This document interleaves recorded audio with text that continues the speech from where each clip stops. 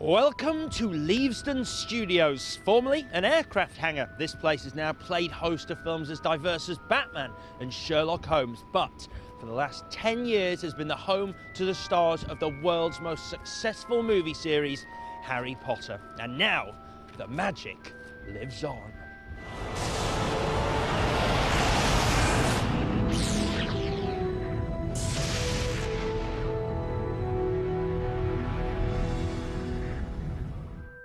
If after seven books, eight films, the mugs, the t shirts, maybe even your own broomstick, you still can't get enough of Harry Potter, well, you may be in luck. Why?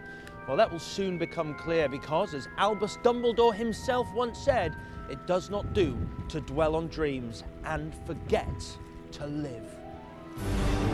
I got a real treat for you today. Over the next half hour, I'll be taking you on a magical mystery tour of some of the most iconic sets and backdrops from the Warner Brothers Studio Tour London, The Making of Harry Potter.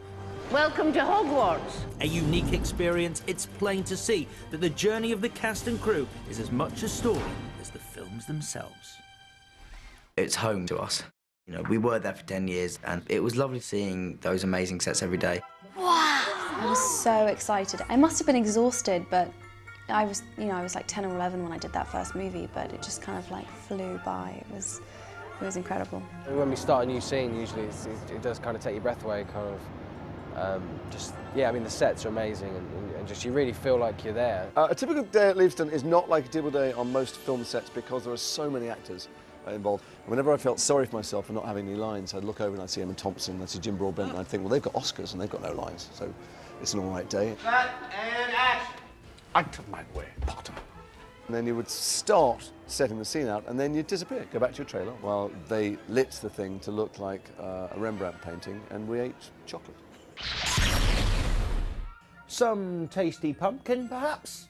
One of the favourite foods of the man whose home I am now standing inside. Now, it only takes an amateur Potter enthusiast to recognise this place as Hagrid's hut, home to the friendly giant played by Robbie Coltrane, who was in every single one of the Potter films. Now, this place, once you get this close to it, astounds with the level of detail. It's utterly amazing. And what's equally amazing is this entire structure was at one stage taken down and moved 2,000 feet up a mountain in Scotland, all for a few scenes in The Prisoner of Azkaban. Thankfully, they have now brought it back to here in Leavesden, where you can have a look at it up close yourself.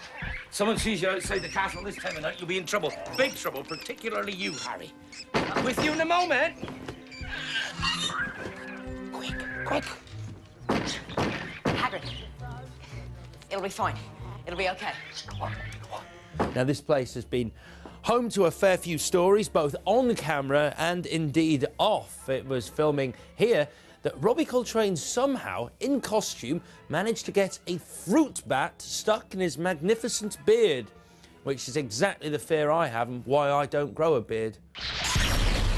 Okay, good. Best one yet. Okay, we'll reset once more. I owe everything to the people that I've worked with over the last 10 years, whether it's the crew, the cast. I certainly have a huge amount to thank David Yates for. He, he was kind of the guy who um, embedded the passion for filmmaking in me. Before that, I was a little unsure whether it was something that I wanted to do for the rest of my life. It's very strange, actually, and very surreal because when you finish the movie, you kind of figure that it's over. But then as you leave the film set and you leave the studio and you go out into the world, you're so aware that Potter is always present because people, when they know what you do or what you've done, always want to talk about the wonderful stories, the wonderful characters that Jo Rowling's created. That's it. That's it. Very good, Mark. That was smashing. I used to have this thing, and it, we all did all of, all of that, that little gang, and we and we're quite close because of that experience. First of all, I'd go and have a sort of healthy breakfast, like I'd have some some yogurt and some porridge, and then go back and have kippers and bacon and sausage.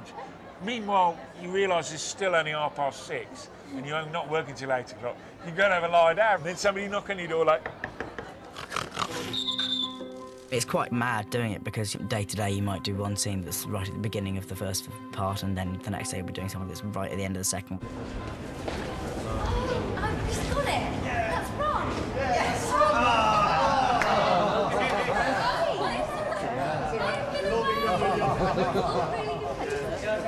So it's kind of it creates a kind of friendly atmosphere of chaos, which is which is rather enjoyable actually.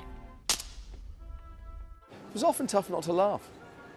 There are my acting heroes, and we're all dressed as wizards, and we're waving wands at each other. I was, to be honest with you, completely terrified of most of the adult actors. It took me more, took me about six years to muster the, the courage to say anything more than good morning, especially to Alan Rickman for some reason. I don't know why, but he was a fairly um, scary guy when I was younger. And it was so nice when I did finally pluck up the courage to ask him questions about Robin Hood, Prince of Thieves, uh, you know, my childhood film. That's one of the nicest things for me is certainly being able to grow up here and you know, uh, get a chance to speak some, to some of my heroes that I've looked up to all my life. Ginny, what is it? I was only wondering when Harry got here. What? Harry? Harry who? Harry Potter, of course. I think I'd know if Harry Potter was at my house, wouldn't I? Do you uh, fancy a bowl of Cheerios? No? Maybe some pixie puffs then? This place is amazing. Every cupboard you open, every drawer you open, there's something in there. Uh, now, this is obviously the Weasley's kitchen at the Burrow. This is one of the interactive sets. Uh, when you come down here, you'll be able to swish a wand and see a carrot chop itself. There'll be self-ironing ironing and self-knitting scarves. And basically every job that you wouldn't want to do yourself apart from the knitting, which can be quite therapeutic. And over at this side, look, the clock that tells the Weasley family where every member is. Uh, says George is uh, currently at home, which means we better scarper. This is his kitchen. Morning. The sets never fail to take your breath away. Most film sets, you build a, a small fraction of uh, what will end up on screen, which will be then painted in later on glass or something. But because these sets were going to stand for movie after movie, they built all of the Ministry of Magic. They built the whole Great Hall, and these things had. Well, I, you know, I don't want to spoil this for the public. Most sets don't have. They're missing one wall. Or they're missing a roof or something, and uh, these were complete.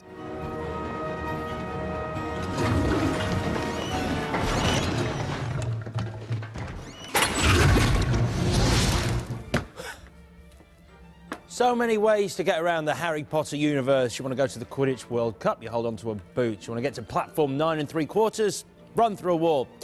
I just flushed myself down a toilet to arrive here at the Ministry of Magic. Why am I here? Well, I've got an appointment with a rather scary lady. What on earth are you doing, Albert? You're lying, Dolores. And one mustn't tell lies. Stupid! It's Harry Potter. It is, isn't it? This will be fun to tell the kids. Who would live in a rather bling office like this? Go on, have a guess. Deathly Hallows Part 1? Yes. Dolores Umbridge. This is her office at the Ministry of Magic. Seen as Harry searches through that very drawer for a Horcrux.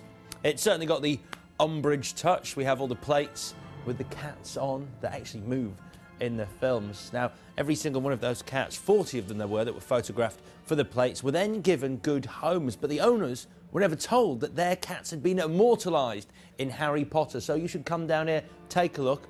One of them could be yours. As we uh, take a walk to that door, you will know what is attached to the far side of Dolores Umbridge's office door. Yes, Mad Eye Moody's eye. On the count of three! Exactly like I said. Hold tight, Harry. One! Two!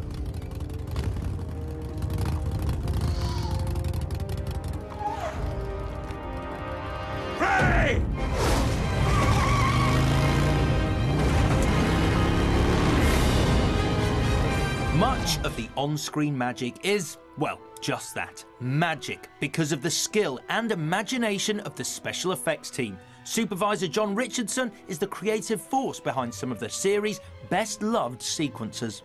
Let's start at the beginning. What was it like for you on a personal level working on the Harry Potter series? It was stunning because we got to do all sorts of great things like build snake doors and flying brooms and flying cars and motorbikes and all sorts of things.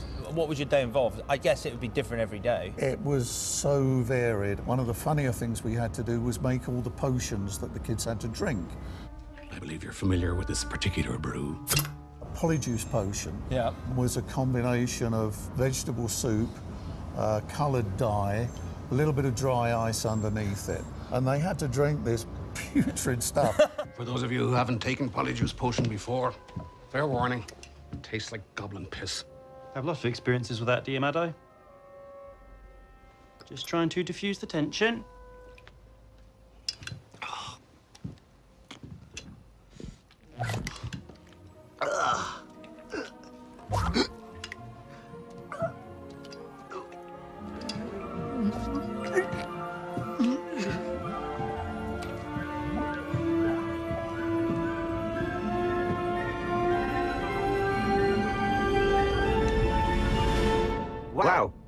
Identical. All the things you've created, is there one that you are most proud of to this day? I love the flying anglia from Harry Potter 2, from the Chamber of Secrets.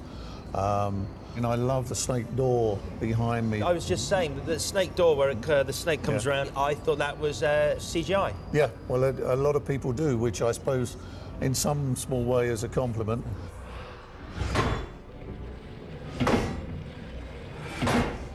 Harry talks in his sleep. Have you noticed? No, of course not. And the other thing that was great because it was an ongoing thing throughout the films were the broomsticks. I mean, we built the broomsticks originally to fly small children who were 10 years old and weighed 120 pounds and ended up flying great big beefy Death Eaters who weighed uh, 14 or 15 stones. Hagrid, we have to help the others. I can't do that, Harry! Mad Eye's orders! What was the most memorable reaction from the young cast? And I, I guess it was probably more so when they were when they were younger, when they saw the creations for the first time. This broomstick went up in the air on a big, what we call a six-axis motion base, which used to fly them electronically. Mm-hmm. So to them, it was a fairground ride. All the time they were being filmed, they were moving through the air, and sometimes quite violently. I think they used to love coming down. Coming up, more on-set action from the cast and crew of Harry Potter than you can shake a wand at. See you on the other side.